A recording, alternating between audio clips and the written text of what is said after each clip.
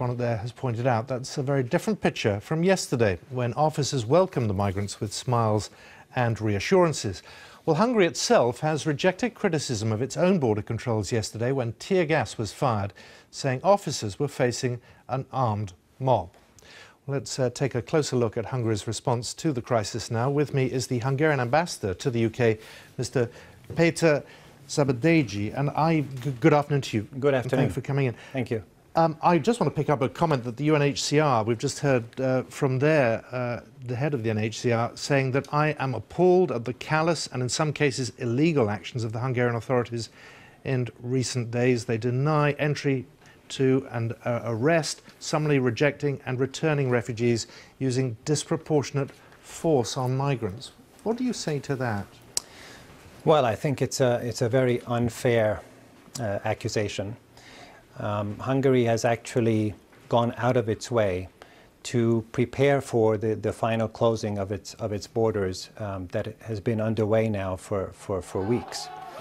And, and actually, um, we're pleased that um, since Monday, uh, the actual numbers of, of, illegal border crossings has decreased from about 9,000 in the beginning of the week down to below 400. But to answer your question, when, when we have put together the new, the new law, uh, which is now in place as of Tuesday, we made it a, an extra point to make sure that we help those who are truly vulnerable. So first of all, we put in place um, well, let me stop you there. Just looking zones. at these pictures yesterday, water cannon, tear gas, they're, they're limited in terms of their targeting ability, and many innocent civilians, some of them desperate, will have been caught up in that. Yes, well, that's what I was just coming to say, that, you know, these people have a, have a choice, they have an alternative, and that is to, to come to those transit zones, uh, which Hungary has put in place by the border, where the application process for asylum is, is now uh, being accelerated. And if they come to those points, their asylum requests will actually be processed uh, quickly. Now, what happened yesterday is, is very, very unfortunate. I mean, as you can see in those pictures, there was a hostile attack on Hungarian police. And, and, and I have to say that the, the response from, from those, those police has been uh, measured and, and professional. A hostile attack. What sort of people do you think carried that out? Because from the pictures we're looking at, many of them carrying babies, young children, they didn't look hostile, they looked very vulnerable. Um, actually, it is quite horrifying what, what, what some of these aggressive migrants are, are, are doing. Actually, most of them were, were young men. But some of them actually used small children um, as shields. And, and I mean, most horrifyingly, two of them were actually thrown across the fence. And so Hungarian ambulance had to take them to hospital and take care of them. Two children? Two children from the Serbian side were thrown across the fence. It's, it's, horrifying. I mean, well, it's, it's horrifying actually... if it was because that was the most desperate act of a parent who wanted to get their child into a safe zone, if you like. I mean, there are always two sides to a story. Well, yes, and that's what I'm trying to say. They didn't have to go and attack the police in order to get into Hungary. There are these transit zones which are in place. There are two of them along the border, which, which is open for asylum seekers. Do you understand the confusion caused by a sudden change in policy? People head to a point where for, for weeks it's been safe to cross. Yes. You change, your authority changes its mind. They don't understand, they perhaps don't hear that, and then they arrive and the rules have changed. Can you understand the frustration? I, I, can understand that, and, and I think part of what happened yesterday was sort of a, a, a test of the resolve of the Hungarian authorities.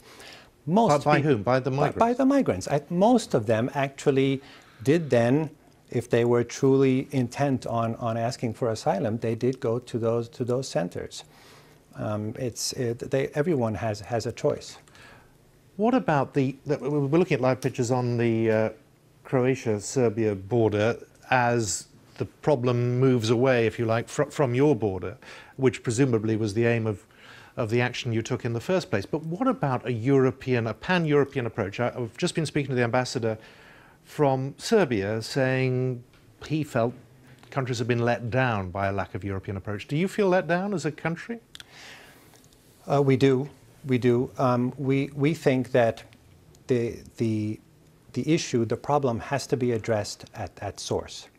And so there are really four things that Hungary would like to achieve um, to, to alleviate the situation. First of all, the place from where the refugees are leaving, Syria and, and, and other places of conflict, have to, have to find a way to, to, um, to cease the, those, those, those conflicts. And, and clearly you, you require uh, US and Russian and, and Arab countries to do that.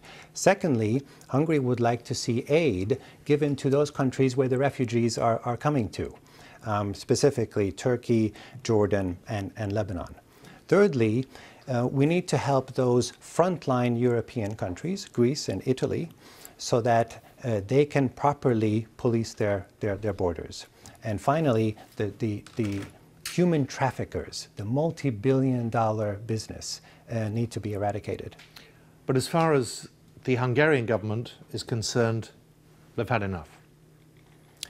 The Hungarian government is doing what it can to, to enforce the EU regulations, which it has uh, adopted, in such a way that it really takes care of the truly vulnerable. And what by that I mean anybody coming into a, a transit zone who is a minor, who is sick, who is an elderly person, or is a family with small children, they are allowed through and they are then taken to immigration camps, they're taken to uh, these reception points and they're, and they're taken care of with, with food and water, shelter, um, healthcare. Let me pick you up on that because what is your understanding of who these people are at your border crossings? Are they asylum seekers, desperate people fleeing for their lives, or are they something else?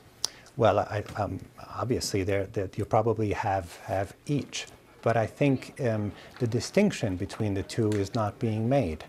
So clearly, Hungary is saying that we will accept true refugees at some point down the line, and, and in fact, that's what the asylum process is, is, is all about.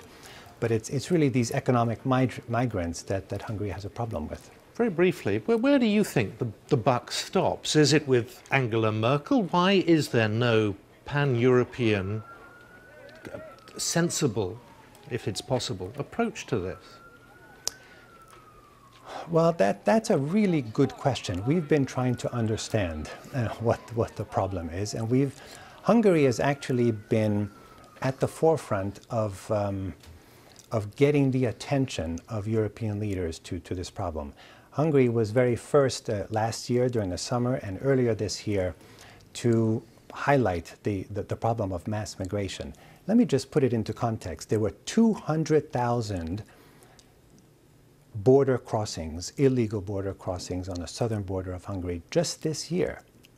That's bigger than the second biggest city in Hungary, called Debrecen. It is huge. So not only cannot, can Hungary not cope with it, but I'm sure Europe cannot either. Uh, I'm afraid we're out of time, but Peter Szabadhegy, I'm most grateful for your time this afternoon, the Hungarian ambassador. Thank you UK. very much. Thank you very much.